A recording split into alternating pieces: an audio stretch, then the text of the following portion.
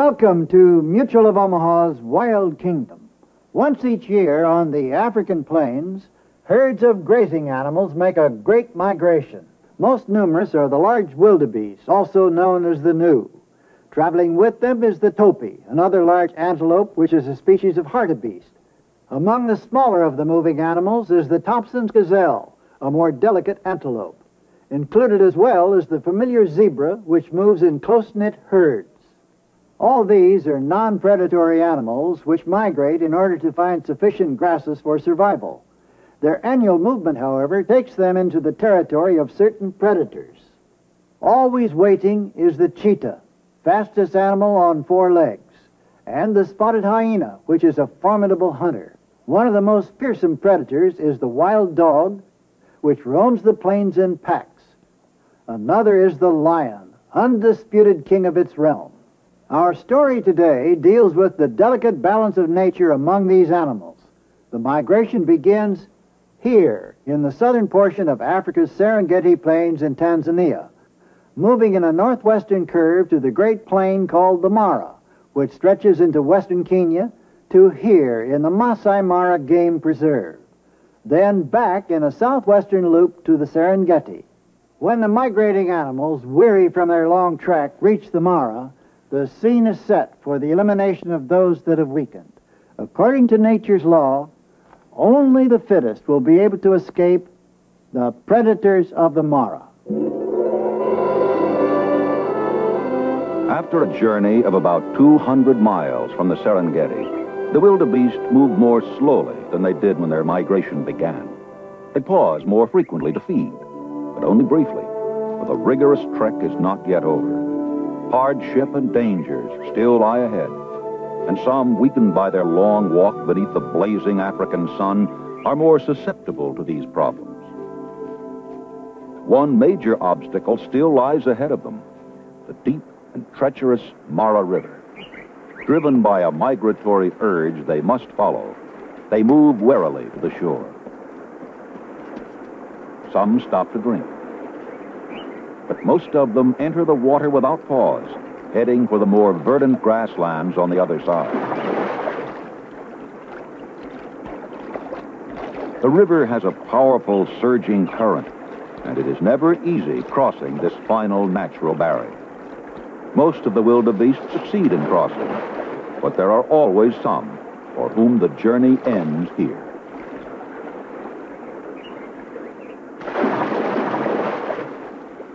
Those which succumb form rafts of food for vultures who squabble for a place to stand and gorge themselves.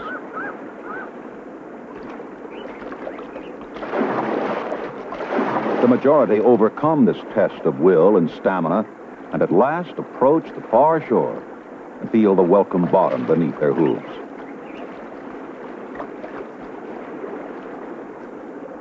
They reform their herd and move at once straight toward a new peril the predatory wild dogs who have been waiting for them. Having finally reached the terminus of their northward migration, the wildebeest soon will spread out to graze. But for now, they continue to move in ragged lines, gravely vulnerable to attack by these predators. The wild dogs study them carefully, watching for the weakest ready to isolate and bring down the one they'll select as the victim. Some of the wildebeest, though only too aware of the danger, falter, and occasionally some even stop. The herd inspection is over, and the wild dogs, ignoring a nervous Thomson's gazelle nearby, move into action. As individuals or pairs, the pack spreads out and will position themselves at intervals setting the stage for attack. As the hunt begins in earnest, some of the wildebeest begin to panic and break away from the herd. Tommies are ignored as the hunting dogs concentrate with single-minded determination on the wildebeest, moving in to isolate their quarry. There is the target, a calf running with its mother. And as the hunting dogs charge into the herd, panic grows.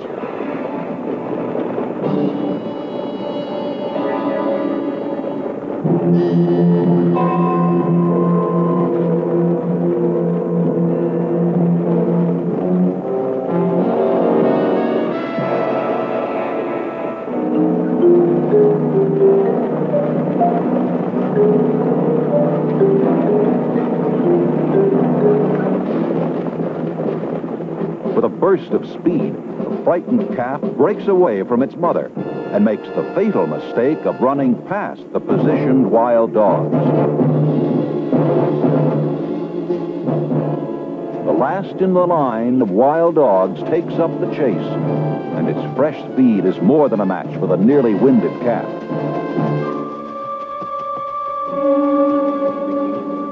The wild dog will bring it to a stop and hold it until the others catch up, and together they will take it down. With immediate danger past, the Tommy moves on, and not far away the zebras relax too, enjoying the opportunity to roll in the dust to dislodge ticks attached to their skin.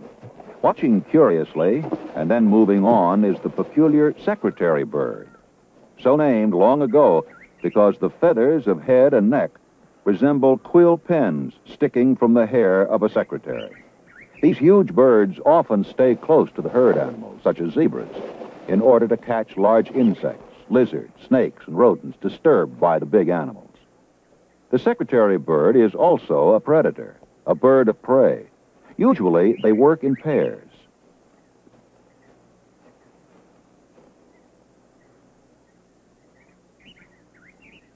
Striding about on their long, thin legs, they try constantly to flush small animals on the ground.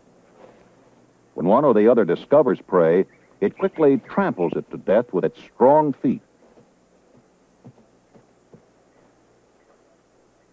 And then snaps it up and swallows the hapless mouse or lizard. Though a powerful flyer, the secretary bird spends most of its time on the ground. Because they pose no threat, these large birds of prey are ignored by the grazing zebras and topi. But the herd animals always remain alert for the large predators of the Mara.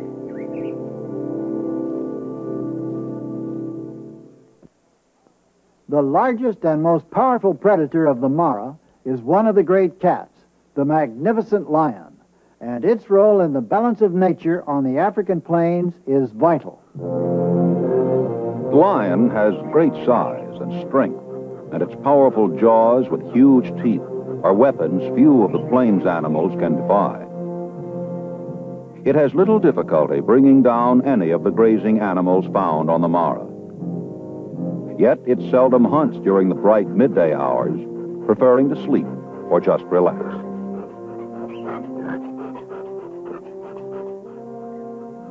Most often, the lion leaves the business of hunting prey to the female. When she's not busy caring for the newest members of the pride, the lioness is a superb hunter. She is also an excellent mother, accepting the mauling and cuddling of her little cubs with great patience and displaying a strong affection for them.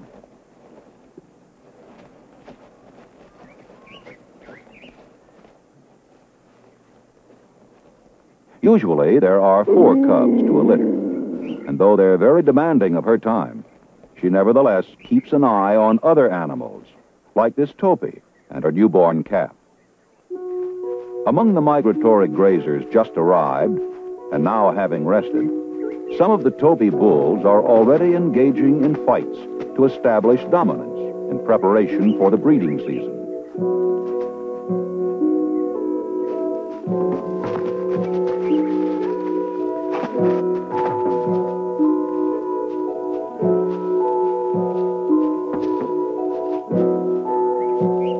These fights are relatively brief and seldom result in injury. Most often, one of the adversaries concedes defeat.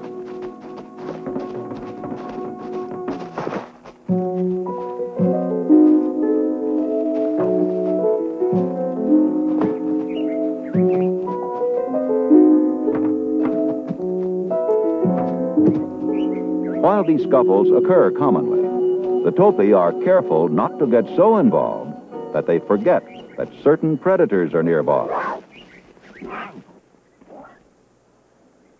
One big problem shared by all the antelope with calves is protecting their offspring. Black-backed jackals are both scavengers and accomplished predators and will sometimes try to keep a topi off balance and separate it from her calf.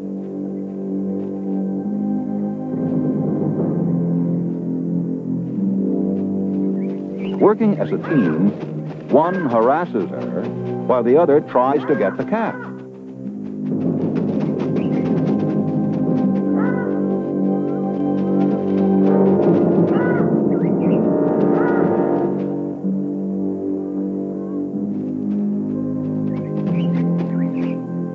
If not too fatigued from bearing the calf, she can usually fend them off. But it takes constant watchfulness and is very wearing on her.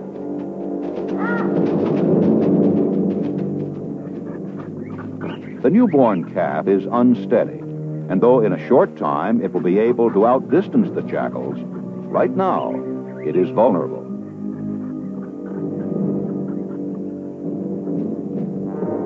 Sometimes the jackals are successful in bringing down the defenseless calf. But this time, the alert mother is able to hold the attackers at bay. The topi and her calf leave the jackals behind at last. And the young topi is already learning how to use its long legs to escape from predators. Among all the antelope species, alertness is the key to survival. This time, the topi calf was very lucky. With such an alert and dauntless mother for protection, it may survive to adulthood.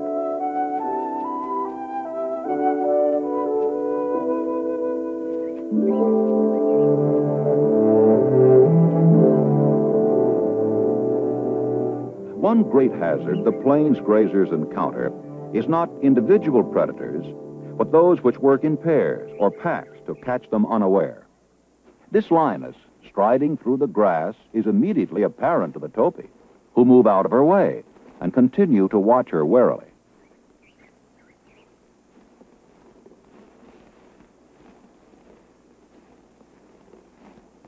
The big cat's actions don't indicate immediate attack, but the antelopes stay alert, as do the zebras. Most of the grazing animals develop an uncanny ability to know when attack is imminent. But the animal they're watching may be a decoy, and another lioness may be the one which attacks. A small herd of wildebeest is the target this time. In anticipation, the male bestirs himself as the lioness attempts to approach unseen through the dense cover until she's close enough for a short, swift charge. But occasionally, things go awry. This time, the wildebeest are lucky. A vagrant breeze brings to them her scent, and instantly, though she has made no sound, they bolt. Her charge has begun too far from them.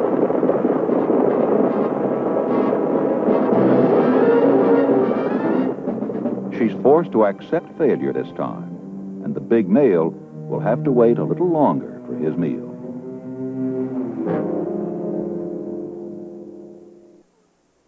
As survival of the fittest is a law of nature, it is also a fact that in nature there is no waste. Though a certain number of the herd animals are doomed to death by one or another of the predators, such death is never pointless or wasteful. From the great herds, it is the weak and sick which most often fall prey to the predators. The hyena, both an efficient predator and scavenger, often has to protect his food from such scavengers as these white-backed vultures clustered at his latest kill. Even a tawny eagle, itself a predator, seeks a share of the carcass. But even though the hyena is too full to eat any more of it now, he's averse to seeing them steal his prey.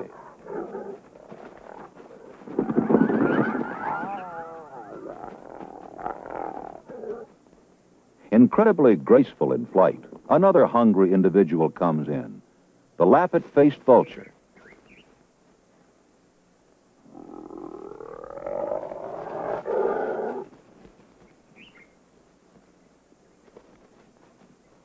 As another tawny eagle arrives, on the other side of the throng of scavengers, a great marabou stork gobbles whatever it can find. No morsel of the dead animal will be wasted. Competition is keen, and every scrap is vied for. And sometimes one of the birds, like this tawny eagle, tries to steal a vulture's meal.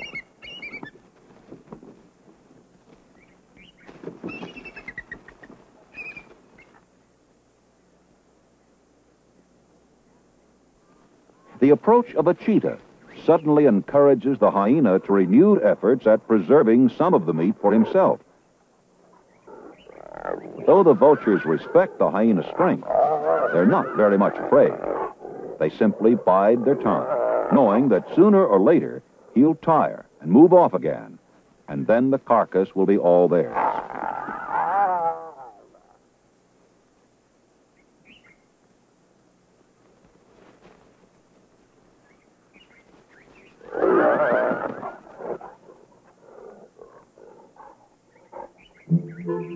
Recently awakened from his nap, the cheetah is hungry. A pair of jackals are trailing him. Attempts by the cheetah to ignore them make the jackals bolder. They're full of mischief, and their aim at the moment is nothing more nor less than sheer harassment of the big cat.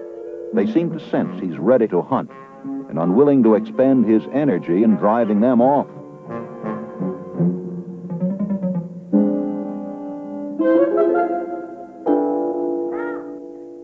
Disdain of the cheetah encourages the jackals to move in even closer.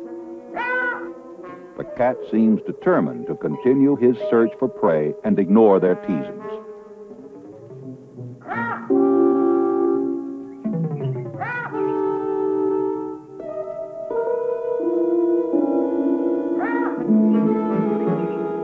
Even a nip on the tail by the jackal fails to really arouse the cheetah's ire any appreciable degree and the jackals finally begin losing zest for the game.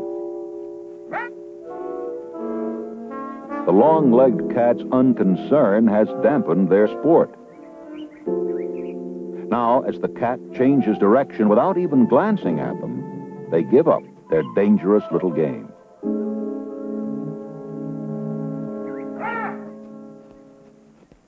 At last, the cheetah sees what he was wisely saving his energy for a herd of wildebeest. The change in the cheetah's demeanor is immediate. The hunt is on. And even though the wildebeest are nervously aware of the approach of their deadly foe, the cat must move in as close as possible before they bolt.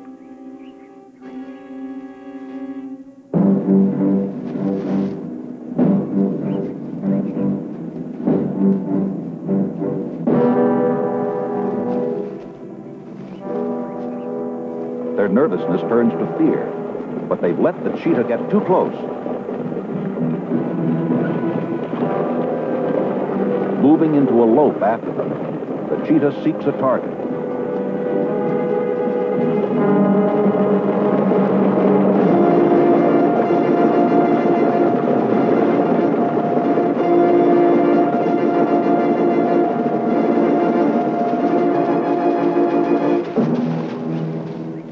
Young wildebeest had little chance against the awesome speed of the world's fastest mammal. It strives to remain erect against the inexorable pressure the cat's now exerting to down it. If the wildebeest can keep on its feet and eventually break the hold of the cat, it may be able to escape because by then the cheetah's reserve of energy for high-speed pursuit will be expended.